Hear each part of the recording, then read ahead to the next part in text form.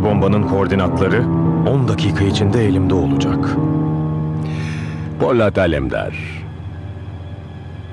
10 dakikaya kalmadan öleceksin.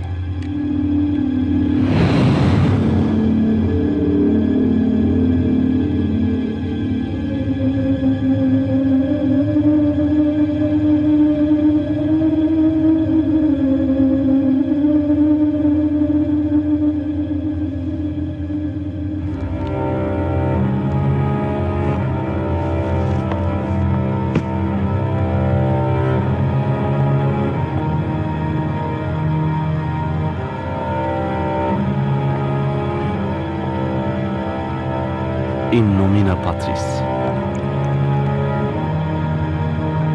Et Filii. Et Spiritus Sancti. Amen.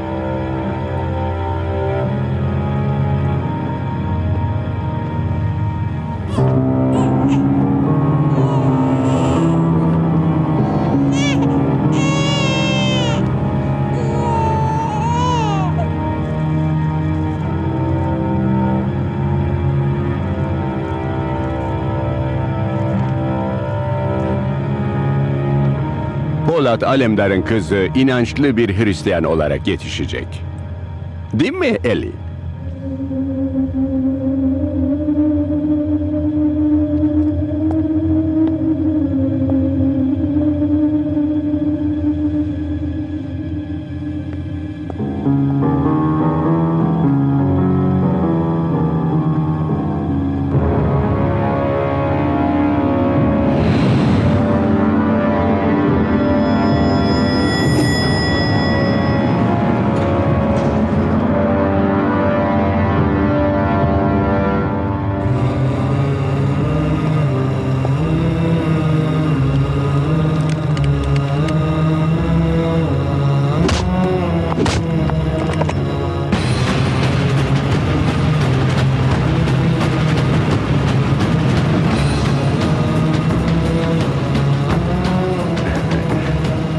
De sizi bekliyordum Sayın Alemdar.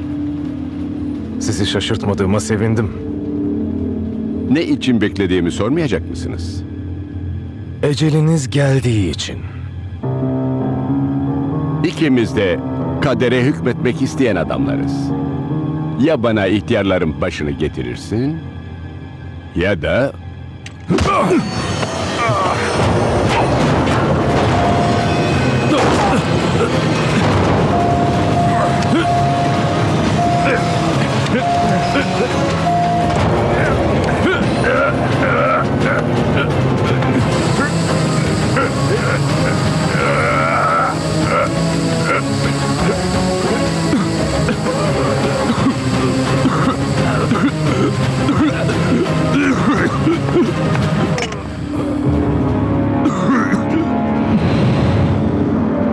için fark etmez. Nasıl olsa sizi öldürmeden ölmem. Tam 10 dakikamız var. bomba bizde değil.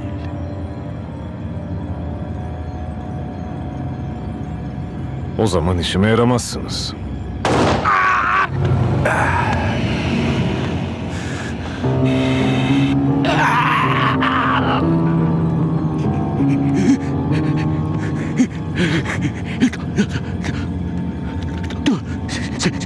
Seni bombaya götüreceğim.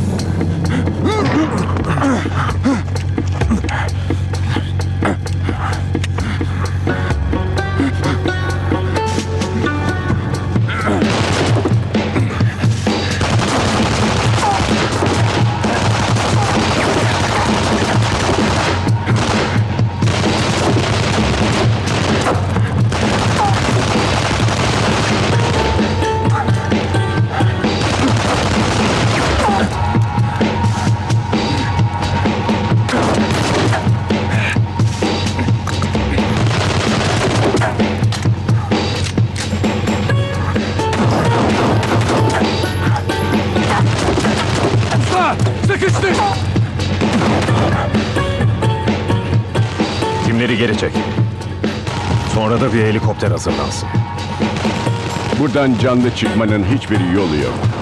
Beraber çıkacağız. Canlı ya da cansız. Ara.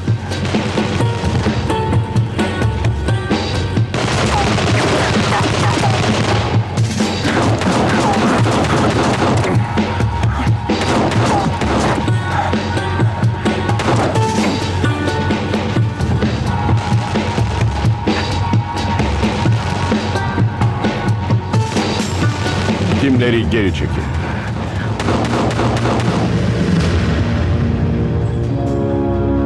Yes sir.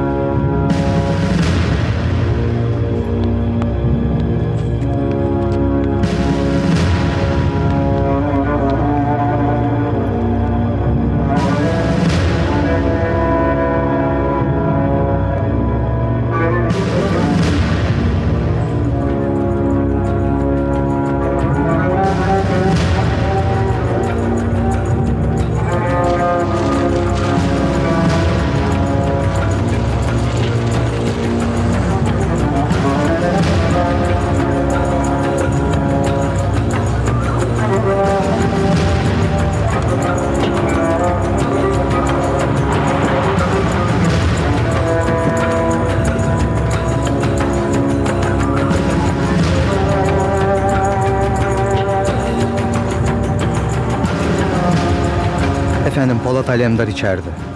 Büyük çatışmalar yaşanıyor. Başka bir bilgi elde edemiyoruz.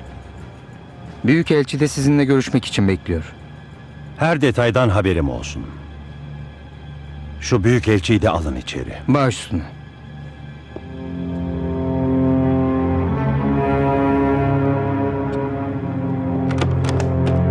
Buyurun efendim, başbakan sizi bekliyor.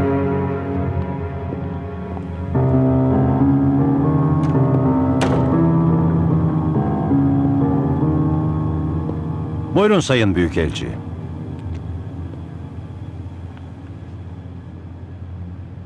Sayın Başbakan, üstümüzde olanlar savaş sebebidir. Bunu siz de biliyorsunuz. Üstünüzde olanlar bizi de tedirgin ediyor.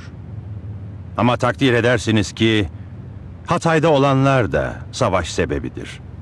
O İsrail'le aranızdaki mesele. Eğer eylemleri gerçekleştirenleri üstünüze kabul etmeseydiniz, evet, olanlar sadece İsrail ile Türkiye arasında kalacaktı. Saldırıları gerçekleştirenlerin bizim üstümüzde olduğuna dair kesin bir istihbaratınız var mı Sayın Başbakanım? Bizim istihbarat birimlerimiz size gereken bilgileri sunarlar. Merak etmeyin. Üstümüzde İsraillerin olduğu kanıtlandığı an güvenlik güçlerinize teslim edilecektir. Fakat Polat Alemdar'ın derhal teslim olmasını talep ediyorum.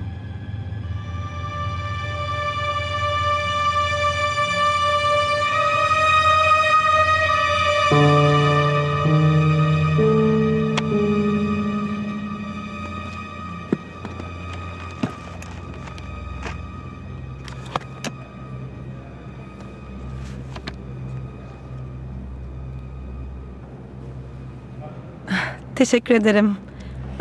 Thank you. Türk müsünüz? Evet. Uzun zamandır Amerika'daydım. Türkiye'ye dönüyorum. Alışmak için de Türkçe konuşmaya çalışıyorum. Sizin yabancı olduğunuzu düşündüm o yüzden... Ay çok karışık oldu. Oturmaz mısınız? Oturayım. Biraz uykusuzum.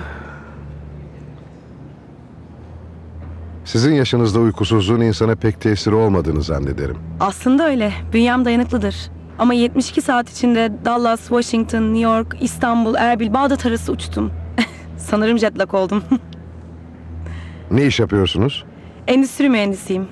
Kuzey Irak'ta yatırım yapmak isteyen bazı şirketlerle ön görüşmeler yaptım. Erbil'den niye dönmediniz?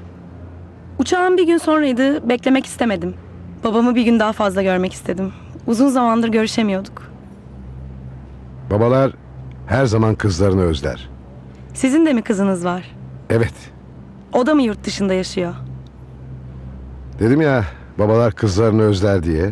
Ben kızımı bir yere yollamam. Keşke benim babam da sizin gibi olsa. Siz ne iş yapıyorsunuz? Muhtelif Muhtelif mi? Yeni ekonomik düzende biri batmak istiyorsa bir noktaya odaklanmayıp muhtelif yatırımlarda bulunsun. Kartınız var mı? Bunları sizden İstanbul'da dinlemek isterim. Siz bana kartınızı verin. Ben vaktim olursa sizi ararım. Tabii. Ya da mailleşiriz. Adınız ne sizin? Peri. Daha doğrusu Perihan Velid. Babaannemin adı. Ama kolay olsun diye ben Peri diyorum.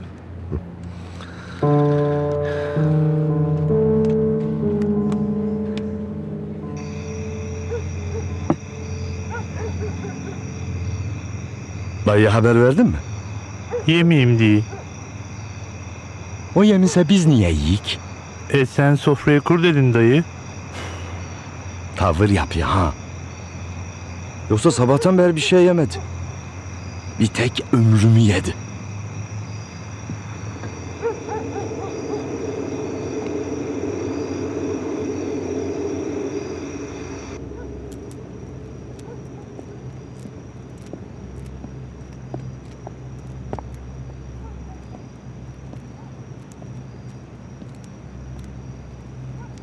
Dayı, dilsin imdat sofrayı buraya kursun. Yemeyeyim. E şimdi yemişsin. Gece kalkıp süt içeceksin. Ondan sonra da sabaha kadar kıvran. Midem midem diye. 10 milyon dolar yemişim. Daha midem bir şey alır mı? Dayı ben strese girince ele yemek isteyeyim ki. Getirsen koysan önüme imdatı da yerim. Cevher. Sola dönüm 10 milyon dolar, sağa dönüm sen. Ben kimi yiyem? Dayı sen kafan takma ha. Ben o 10 milyonu Zülfikar Ağa'dan alırım. Cevher. Seni avucumun içine alırım. Zar diye atarım ha. Kesin dört dört gelir. Şanslı adam. Dört ayak üstüne düşer mi ha?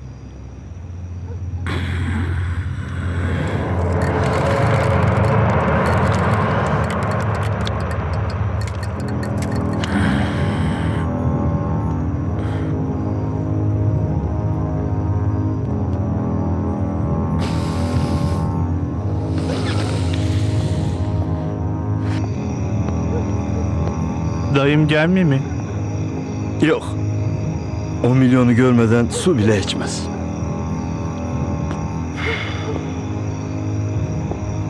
E ne yapacak? Zülfikar'ın otoparkını indirecek bu gece. Bir sürü araba var. Onda eder, on beşte.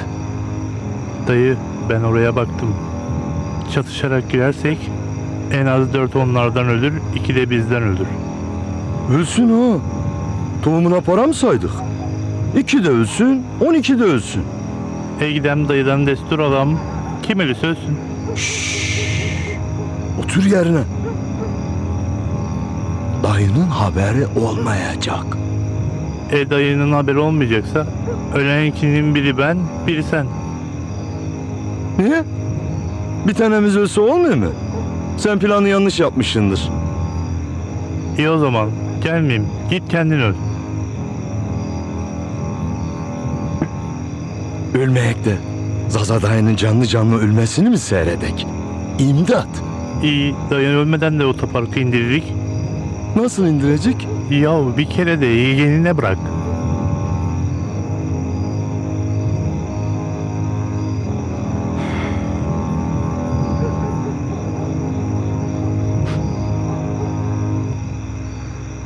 Ne kokuyor la burası? Bir şey mi bozulmuş? He dayı köftelik et çıkarttım. Dışarı koydum sabahtan. O kokudur. Allah ekber. Allah Selamun Aleyküm ve Rahmetullah. Selamun Aleyküm ve Rahmetullah. Allahümme seyyidina. Hayırdır Hüsnü Bey? Ne namazı bu? Endam Hanım, kucağınızdaki bebek o kadar çok yakışıyordu ki hemen Allah'a yakarmak istedim. Bize de bir tane ver. Hatta üç tane ver. Hatta üç tane daha ver diye. Ay olur. Ayol acelesine. Hele birbirimizi iyice tanıyalım. Tanıyalım. Ben Hüsnü Yalın Kılıç. En büyük hayranınızım. Buyurun. Şimdi sizi tanıyalım.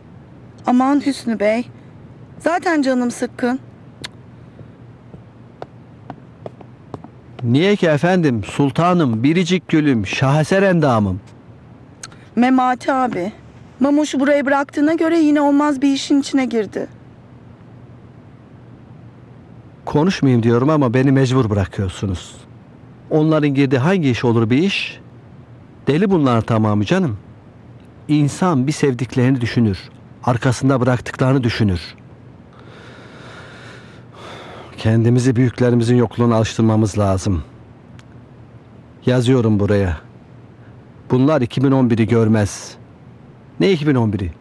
Kurban Bayramı'nı bile görmezler. Ay ağzınızdan yel alsın Hüsnü Bey. Yani bunlar nasıl laflar?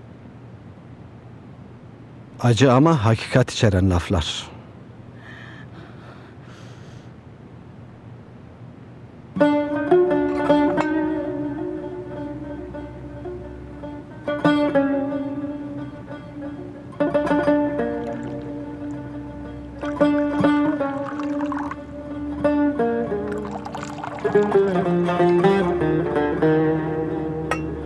Ömer Bey ne derse desin.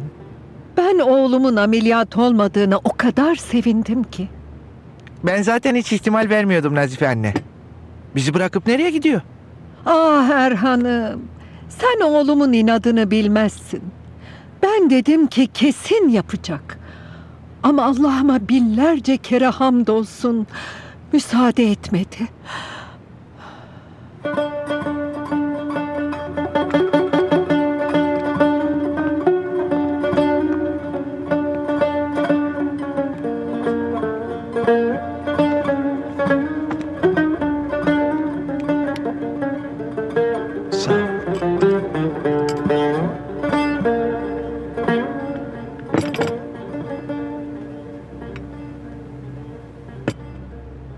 Nasılsın evladım iyi misin? Çok şükür iyiyim. Nasılsa abim kararından vazgeçti.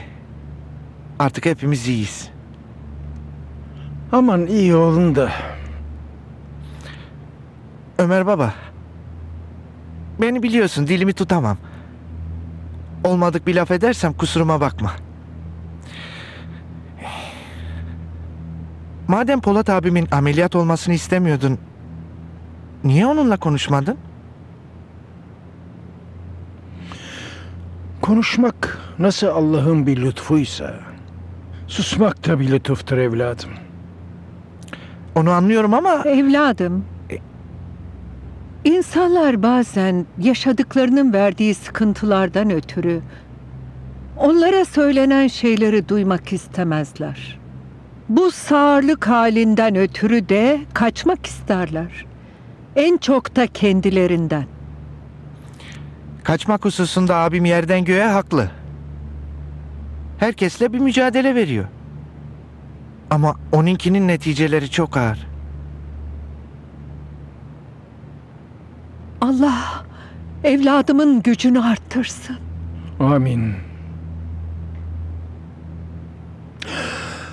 Bazen memlekette yaşananları düşünüyorum. Büyüklerinin tecrübelerinden faydalanmak istemeyen gençleri, birbirlerini işitmeyip kavga edenleri, ayna gibi kendisini karşısında görüp gördüğü sureti beğenmeyip kendisine değil karşısındakine düşmanlık besleyenleri. Aklıma keçi çobanının hikayesi geliyor. Vaktiyle fakir bir keçi çobanı yaşarmış. Her gün keçileri otlamaları için köyü gören bir tepeye götürürmüş. Sağırmış. Fakat bunu umursamazmış. Bir gün karısı yiyecek çıkınını vermeyi unutmuş. çocuğuyla da göndermemiş. Halbuki vakit ilerlemiş bile olsa mutlaka çocukla gönderirmiş azığını. Burada akşama kadar bir şey yemeden duramam. Eve gidip çıkınımı alayım demiş. O sırada tepenin yamacında ot kesen bir adam görmüş. Yanına gitmiş. Kardeş, şu keçilere bir zahmet göz kulak ol da dağılmasınlar. Karım öğle yemeğini koymayı unutmuş. Onun için köye inmem lazım. Ancak diğer adamın da kulakları işitmiyormuş. Ve çobanın dediklerini tamamen yanlış anlamış. Hayvanlarım için kestiğim otları neden sana verecekmişim?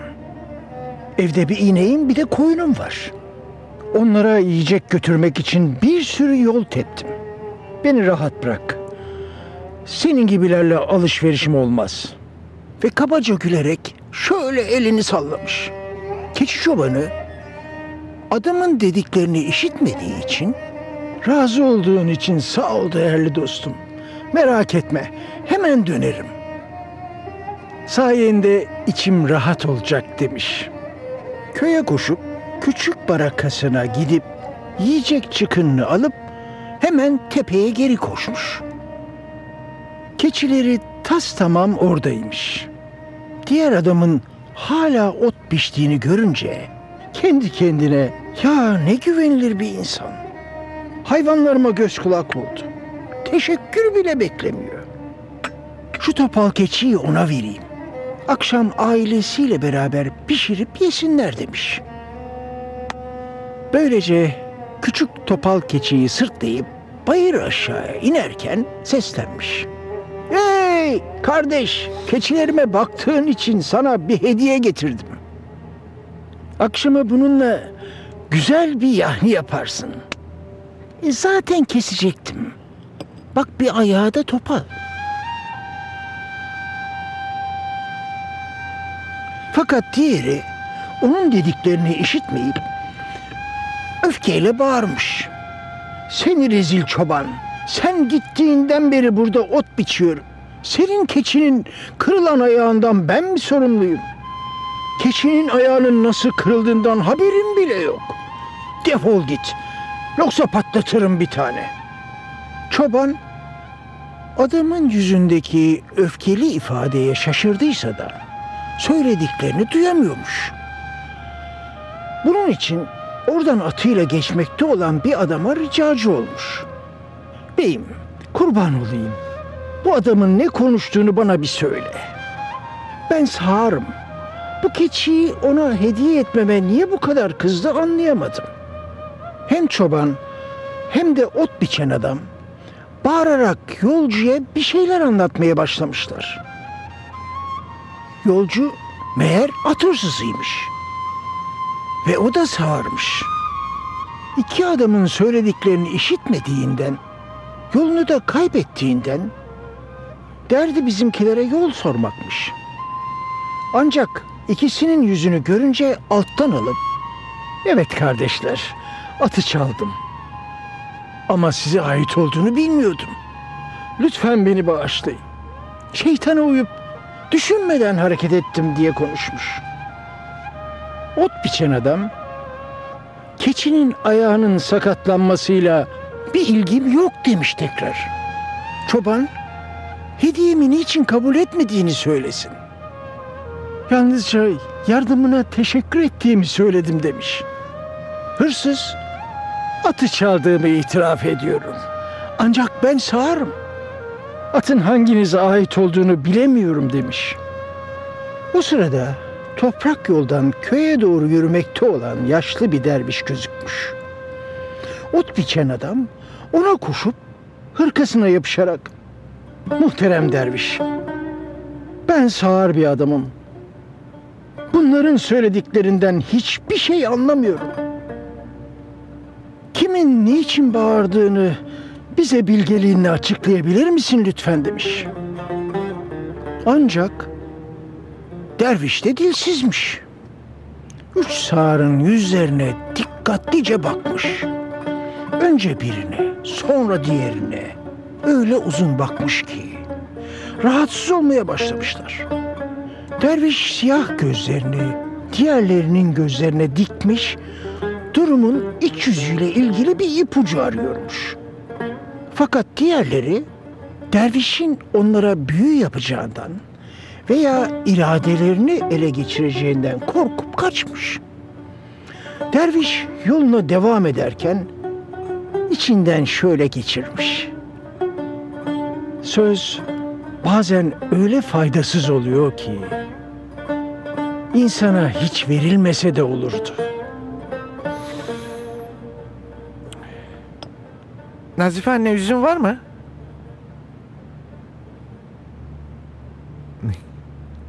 Nereden geldiyse aklıma üzüm geldi Ömer baba. Söylediklerinin yarısını anlamadım. Hanım, üzüm getir. Yoksa tatlı bir şey ver. Peki.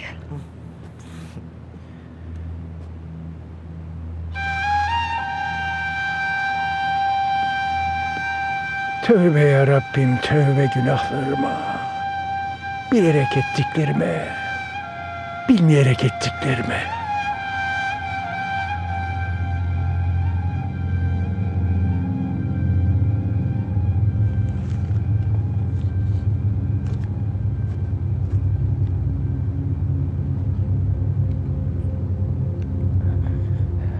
Abi doğru nokta olduğunu nereden bileceğiz?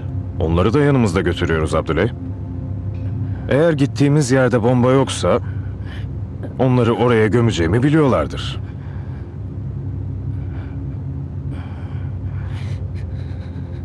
Şuradaki helikopter pistine ulaşmamız lazım. Adamların müdahale ederse önce seni öldürürüm. Tedaviye ihtiyacım var. Memati seni tedavi eder.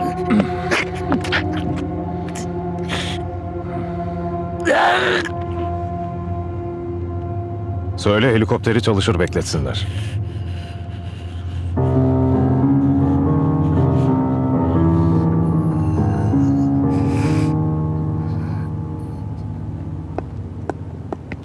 Baba, Canım kızım.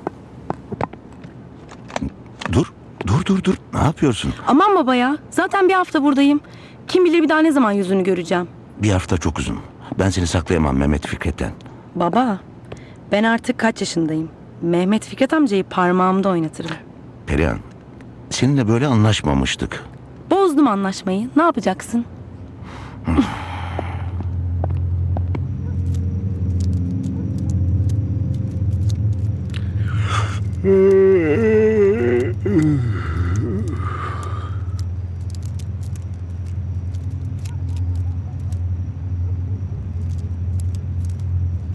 Uygun gelmedi mi dayı? Az biraz uyusan belki sinirin geçerdi ha. Sinirim geçmesin isteyim. Sen bilirsin dayı. İmdat! D- dayı yatı çocuk. Ne emrediysem ben getirem. Niye yati? Ben yatayım mı? Kalksın. Dayı bi- biraz üşütmüş. Yatsın ki bize septirmiyor ha. Niye üşütmüş? Ceryanda kalmış. Benim gibi olmuş.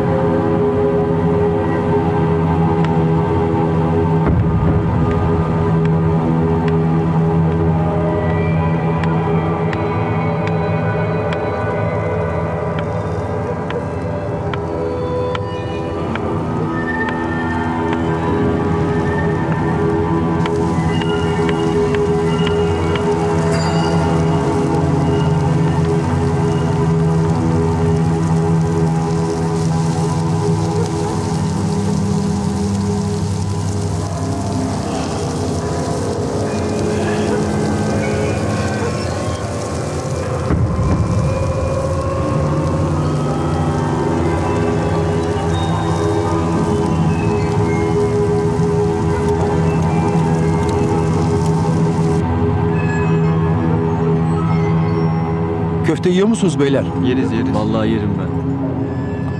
Bana bunu nasıl attı hala?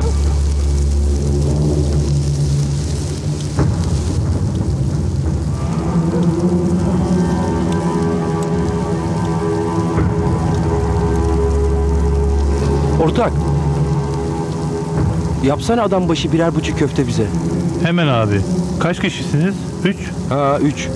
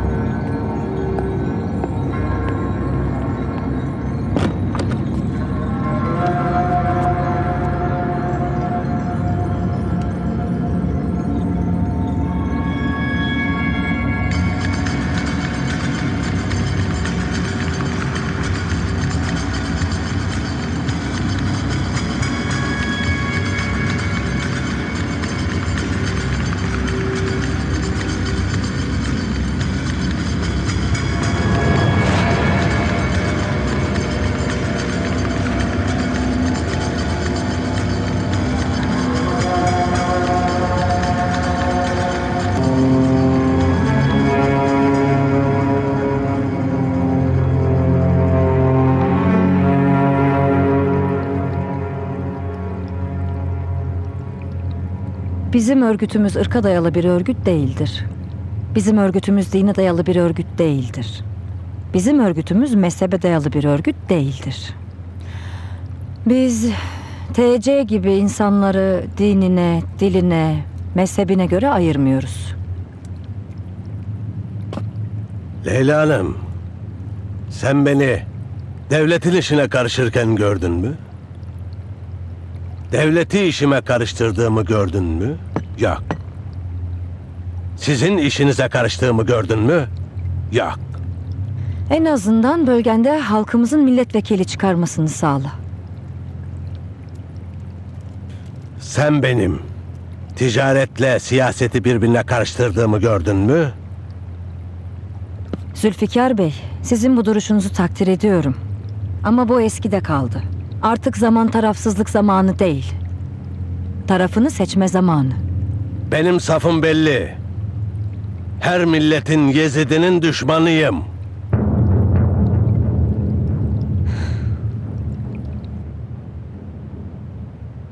Gelininin sana bir diyeceği varmış. Hayırdır?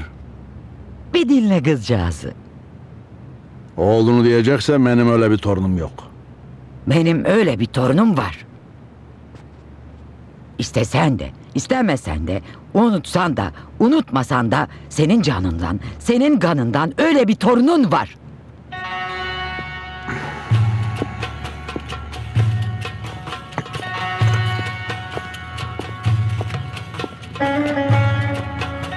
Babam seni dinleyecek.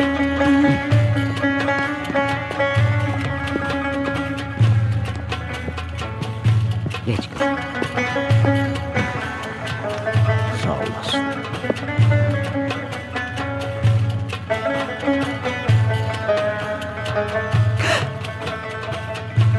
Niye ağlıyorsun?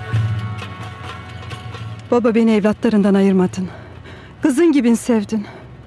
Kocam öldü daha çok sevdin. O yüzden bu evden gitmedim.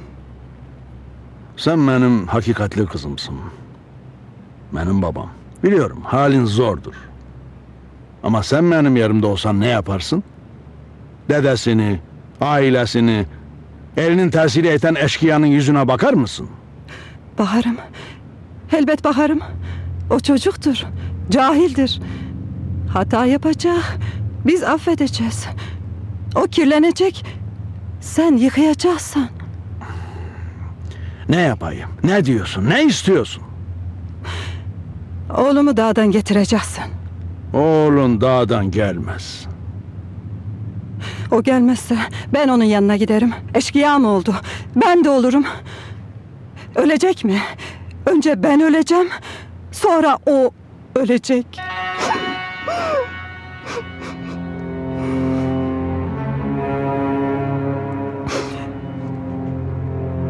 Örgütçülere az bir şey para veresin ha. Çoklarını duymuşum. Diyetiyle çocuklarını satın aldıklarını örgütten. Bak nasıl yolluyorlar o zaman.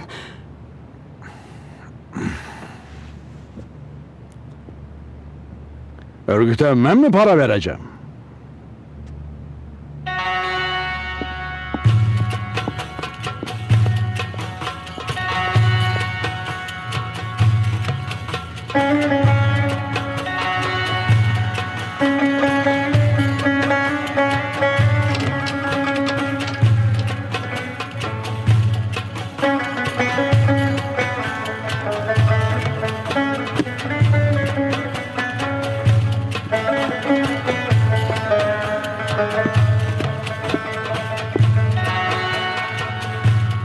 Bunları bana sen taktın. Benim ihtiyacım yok. Senin sözünü çiğneyeceğime kendimi arabaların altında çiğnetirim. Büyük olarak bu çocuğu kurtarmak sana düşer. Ama ben yapmam diyorsan ben yaparım.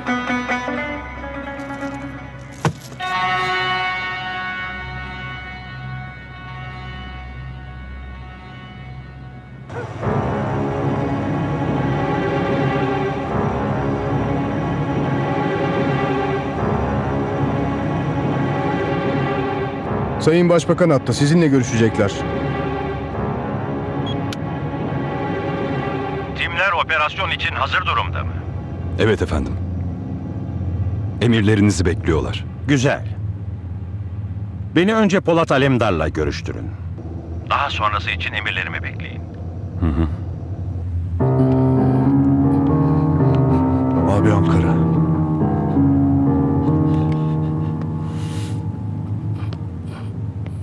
Buyurun efendim. Polat. Bordo Bereliler kapıda. İçeri girip seni alacaklar. Onlarla işbirliği yapmanı istiyorum. Sayın Başbakanım. Ben zaten üssü terk etmek üzereyim. Nükleer silahı ele geçirdikten sonra hem beni hem de silah teslim alabilirsiniz. Ben derhal teslim olmanı istiyorum. Bu noktadan sonra vazgeçemem. Silahlara çok yakınım. Polat. Amerikalılar operasyon için düğmeye bastı. Oradan canlı çıkmaya imkan yok.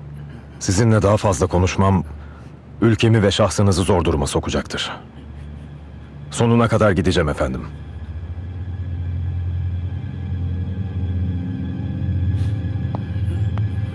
Çıkıyoruz buradan. Yürü. Yürü. Polat geri çekilmeyi reddetti. Kararınız nedir? Ekipler harekete geçsin. Polat'ı Amerikalıların ele geçirmesine izin verme. Hı hı.